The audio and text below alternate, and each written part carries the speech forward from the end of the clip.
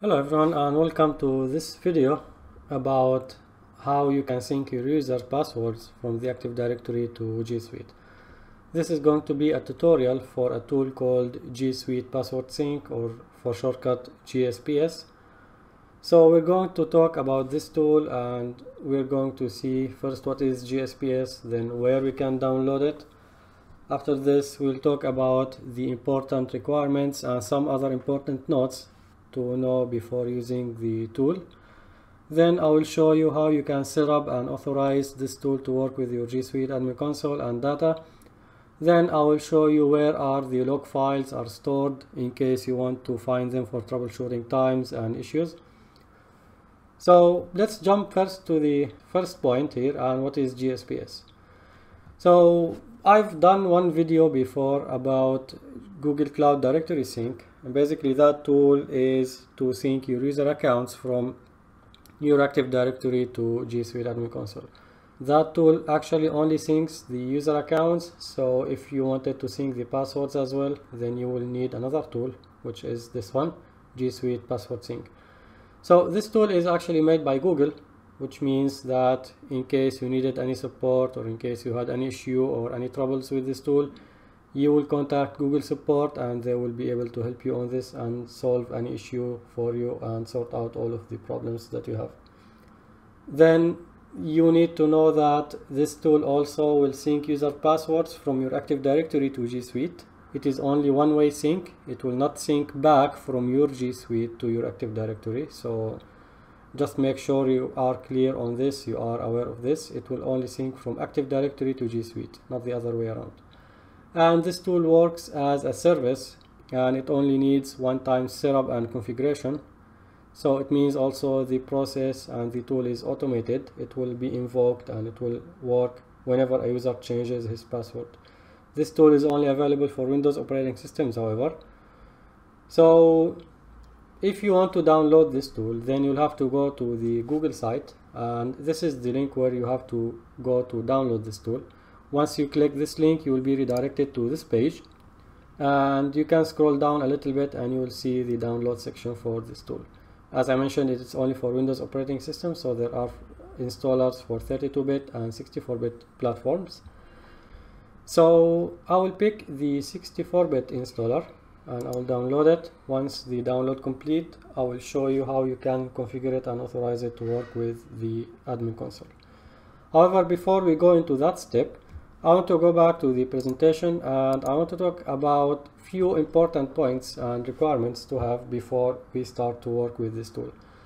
First of all, you must have a local password policy that meets Google's password policy. And before we go into the details, the reason is because you have to make sure that your users are complying with Google's password policy with their passwords because once you implement this tool and if the user is able to change his password by himself you need to make sure that the user is entering the proper password for it to be synced with the G Suite admin console.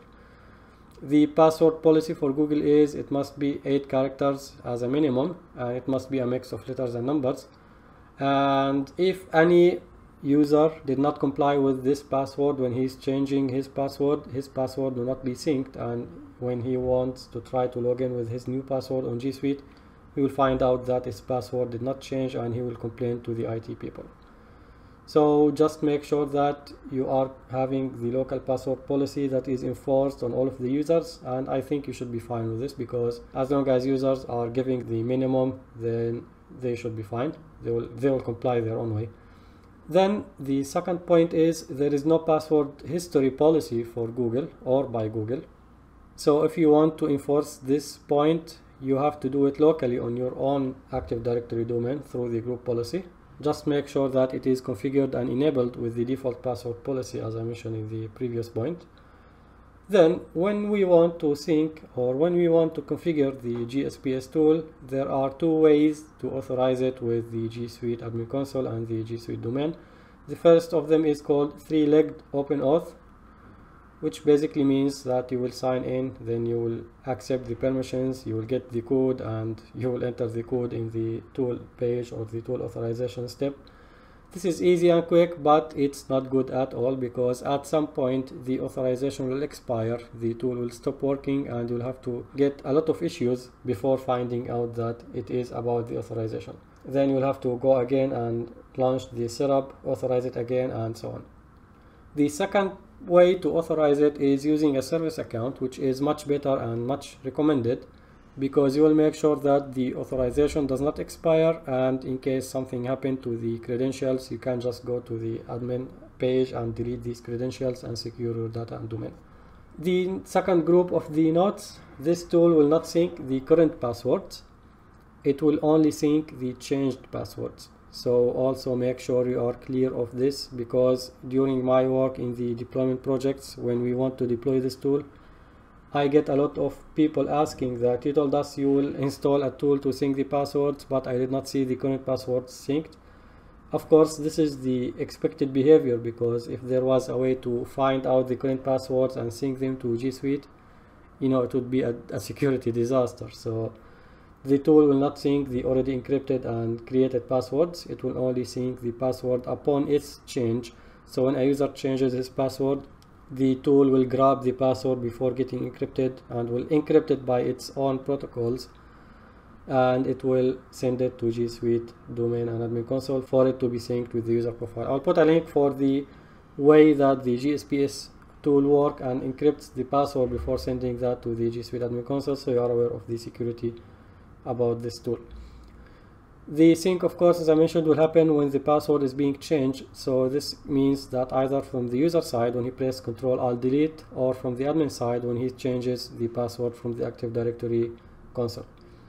Then once the tool is installed and before we start the configuration and setup of this tool, we'll have to restart the server before doing the configuration. This is a very important and critical step. It might cause issues actually after the installation if you did not restart the server and if you start the configuration before restarting the server. So just make sure you plan it install it. Do not run the setup until you restart the server that you installed it on it. And finally this tool must be installed on every writable active directory server in your domain. This is a requirement. If you do not do it then do not expect every user to have his password synced to the G Suite admin console. And because basically the way the Active Directory structure is and it's not the time to talk about it but you need to make sure that from whenever the change of the password comes the tool will grab it and encrypt the password then send it to G Suite admin console before it gets encrypted on the Active Directory domain. So this is it now for the basically the introduction about this tool.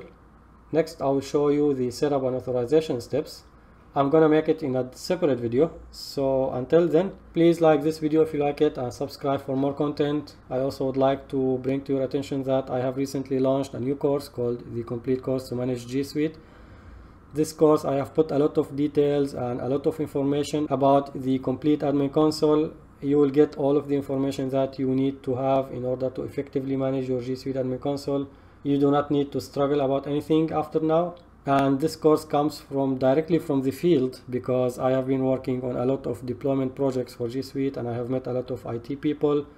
And I knew exactly what are their issues and what are their problems working with the G Suite admin console and this course came out. So I'm sure you will find it very useful and very informative. And if you check it now if you check the link in the video description there is a promotion on it. And instead of $59.99 you will get it only for 10.99 dollars and it's about 10 and a half hours of content.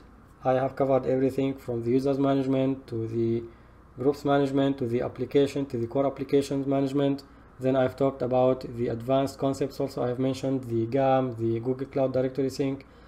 And basically I've covered also the exam objectives of the G Suite administrator. So go check it. Grab the course at this very low price for now and I really hope and I'm sure that you'll find it informative and enjoyable. So until the next video, I hope this was informative for you and I'd like to thank you for viewing.